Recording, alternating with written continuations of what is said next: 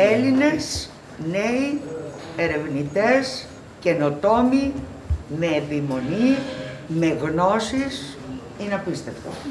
Και αυτά γίνονται σε αυτό το πανεπιστήμιο, στην Κρήτη. Τους δημιουργούς του βίντεο mapping της Επιτροπής Ελλάδα 2021 που κατάφεραν να αποτυπώσουν ψηφιακά πάνω σε μνημεία και δημόσια κτίρια της χώρας εικόνες της Ελληνικής Επανάστασης, συνάντησε επισκεπτόμενη το γλωσσικό κέντρο του Πολυτεχνείου Κρήτης, η Γιάννα Αγγελοπούλου Δασκαλάκη. Η πρόεδρος της Επιτροπής εντυπωσιάστηκε, κάνοντας λόγο για μια πρότυπη κυψέλη έρευνας με καινοτόμες εφαρμογές. Το 2021 φέρνει την έρευνα στη ζωή των πολιτών, στην καθημερινή ζωή. Μιλάμε για μια ταυτόχρονη προβολή ζωντανής ιστορίας που θα γίνει σε 18 πόλεις. Δεν έχει ξαναγίνει αυτό το πράγμα στην Ελλάδα και αμφιβάλλω αν έχει γίνει στην Ευρώπη, που θα είναι ένα, μια πρωτοπορία. Κατά την επίσκεψη της Προέδρου έγινε επίσης παρουσίαση ψηφιακών απεικονίσεων της Επανάστασης με μουσικό θέμα.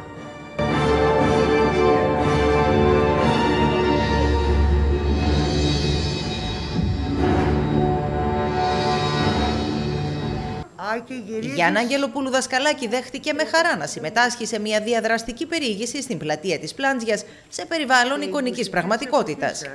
Βλέπεις γύρω σου μια πλατεία την μινοϊκή εποχή, εάν υπήρχε, βλέπεις το ίδιο μέρος στην ενετοκρατία, το βλέπεις μετά τον πρώτο παγκόσμιο πόλεμο ή τον δεύτερο και φτάνεις στην εποχή του 1970.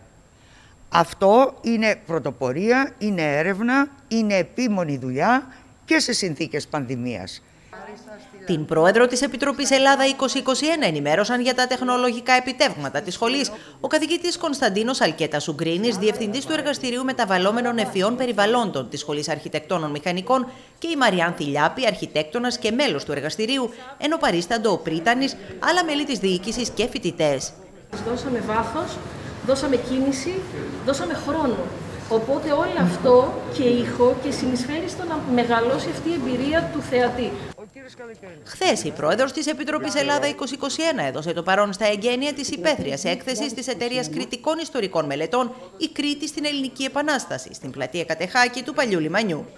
Βγαίνουν στην επιφάνεια άγνωστοι ήρωες, άγνωστα τοπόσυπα, άγνωστες μάγκες που σήμαναν κάτι πολύ σημαντικό.